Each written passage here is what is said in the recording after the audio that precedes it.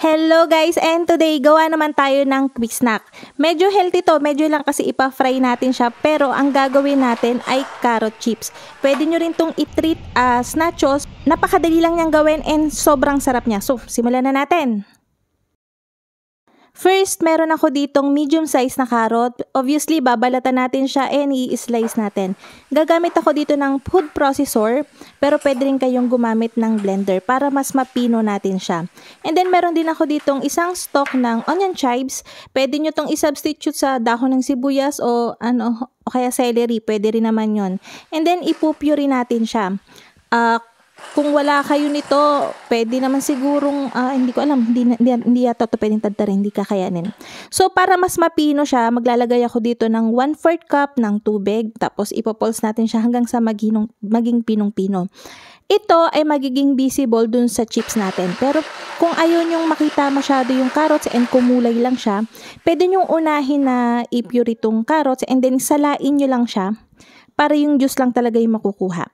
So ngayon, pupunta na tayo dun sa ating paggawa ng uh, chips. Meron ako ditong 1 cup ng all-purpose flour, 1 half cup ng cassava flour. Kung wala kayong available na cassava flour, pwedeng pwede rin naman ang cornstarch. So dito gagamit ako ng mahigit sa kalahating nor cube chicken cubes, pampalasa natin. Kung ayaw nyo naman, pwede nyo naman itong isubstitute na lang sa plain salt.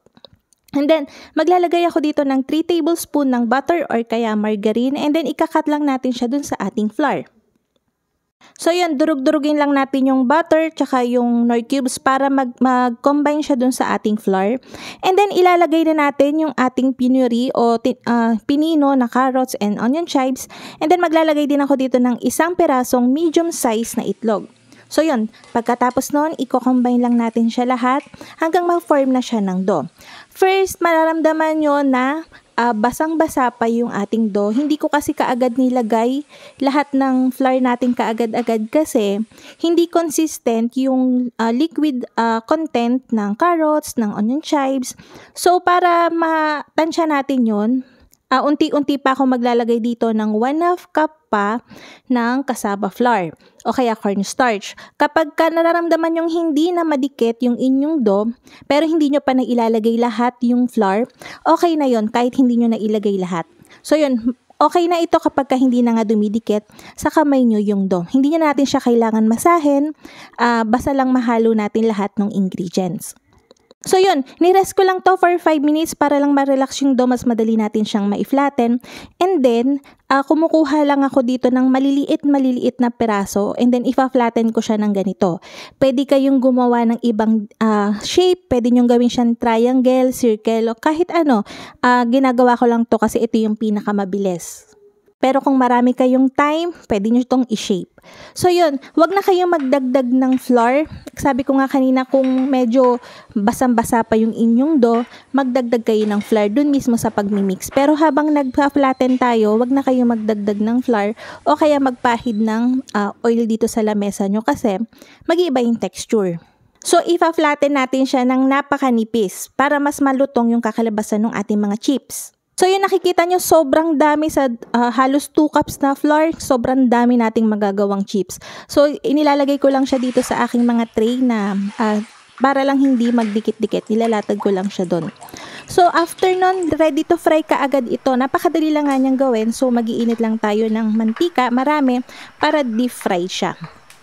Painitin niyo yung mantika niyo up to 180 degrees Celsius to 200. Tapos, kapag magsasalang na kayo, bali i-lower nyo yon ng nasa uh, medium na apoy lamang para uh, medyo hindi ka agad siya magbar-brown and then mas lulutong yung ating mga chips. Ba- bali dahan-dahan yung pagpiprito sa kanya. So, hindi naman to tatagal ng more than 1 minute na pagpiprito kada batch. So, yun, iprito lang natin lahat and then pagkatapos ito, ready ka agad siyang lagyan ng flavor o kaya i-dip na lang natin sa mga sauces.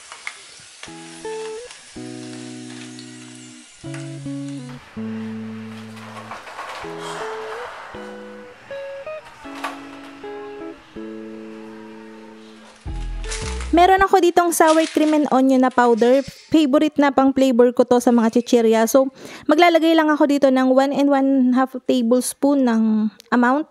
And then, kakalugin ko lang siya dito sa container para mas scatter yung flavor.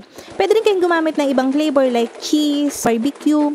So, yun. Alam niyo yung lasa nito. Alam, nakatikim na ba kayo nung Skyflakes na onion chives? Ganon na ganon yung lasa niya.